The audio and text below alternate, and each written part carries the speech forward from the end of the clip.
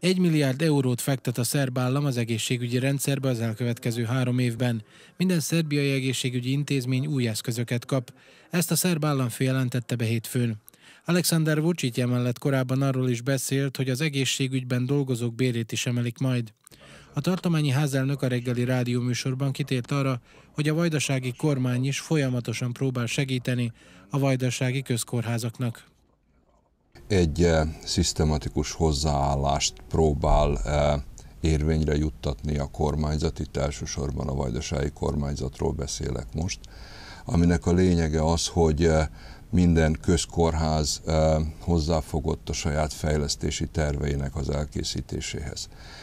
Itt, hogyha erről beszélünk, akkor talán a mi számunkra két legfontosabbat kellene említeni, ez a Szabadkai Kórház, illetve az Entai Kórház. Mind a két kórház csinálja azt a tervdokumentációt, amelynek alapján építészetileg, műszakilag föl kell újítani, vagy föl, föl, föl lesz újítva a kórház annak érdekében, hogy közelítsen a 21. század igényeihez.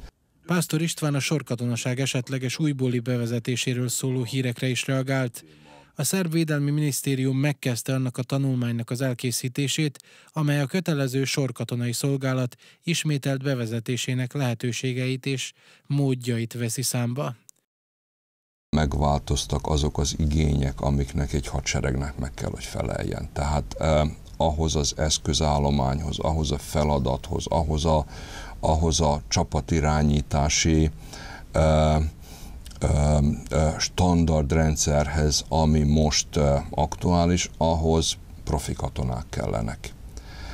Az sorkatonákkal nem lehet egy öt hónapos, vagy két hónapos, vagy három hónapos képzés keretein belül elérni.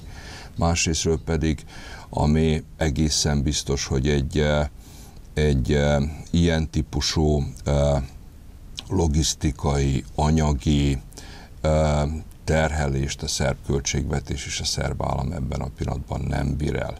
A Koszovó és Szerbia közötti viszonyjal kapcsolatban azt mondta, Szerbia nemzetközi pozicionáltság az utóbbi években pozitív irányba változott, a két félnek pedig közös megoldásra kellene törekednie.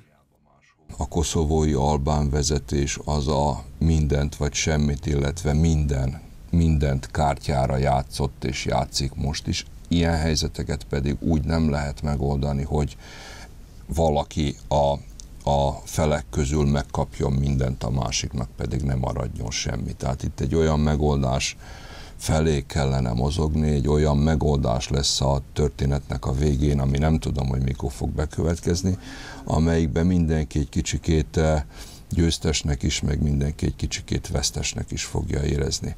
Az idegen forgalomban több kiaknázatlan lehetőség van, mondta Pásztor István. Vajdaságban érdemes a fürdő és a folyami lehetőségekre, a tanyákra és az ehhez kapcsolódó turizmusra koncentrálni.